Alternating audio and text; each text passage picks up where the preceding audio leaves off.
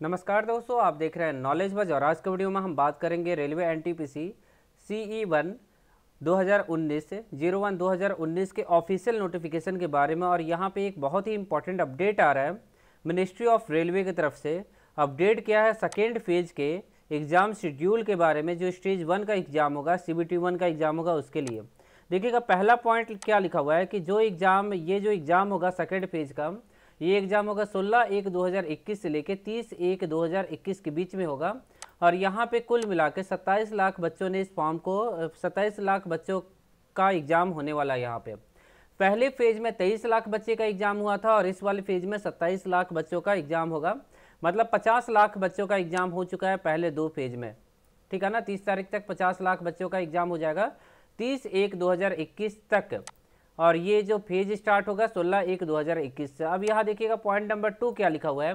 Point number two में देखिएगा जो भी आपका एग्ज़ाम सिटी होगा एग्ज़ाम डेट होगा, या एस टी जो ट्रेवल पास होगा, सभी कुछ आपको या तो 6 तारीख 6 एक 2021 को मिलेगा या फिर उससे बिफोर मिलेगा।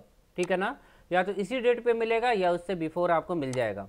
आगे देखिएगा डाउनलोडिंग ई कॉल लेटर चार दिन पहले आप ई कॉल लेटर डाउनलोड कर सकते हैं, उसका लिंक भी आपको मिल जाएगा।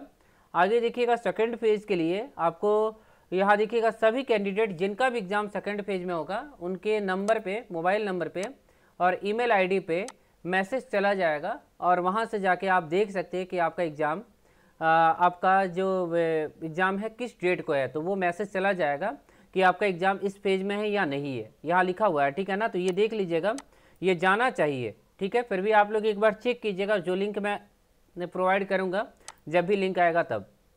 आगे देखिएगा, बाकी जो कैंडिडेट का एग्ज़ाम होगा, वो अगले फ़ेज़ में होगा, ठीक है ना? अगले किसी फ़ेज़ में होगा, तीसरे, चौथे फ़ेज़ में। आगे देखिएगा, अगर कोई भी दिक्कत है तो आपके आपके लिए एक रेलवे हेल्प डेस्क भी एक लिंक दिया जाएगा, जहाँ से आप अपने क्वेश्चन को पूछ सकते हैं, अपने कंप्लेन को राइज कर सकते हैं। आगे देखिएगा, यहाँ सातवें पॉइंट में क्या लिखा हुआ है? यहाँ बताया गया कि अगर कुछ भी होता है तो आप ऑफिशियल वेबसाइट पर जाइए, वहाँ से आपको जो भी इन्फॉर्मेशन मिलेगा वो स्वामी सही मिलेगा। अदर अदर वेबसाइट से आपको गलत इन्फॉर्मेशन दिया जा सकता है तो रेलवे के ऑफिशियल वेबसाइट से ही जो भी अपडेट आता है उसको जाके देखें आप लोग। ये जो नोटिस जारी हुआ है, ये नोटिस जारी हुआ दो एक दो हज़ार इक्कीस को रेलवे के ऑफिशियल वेबसाइट पर।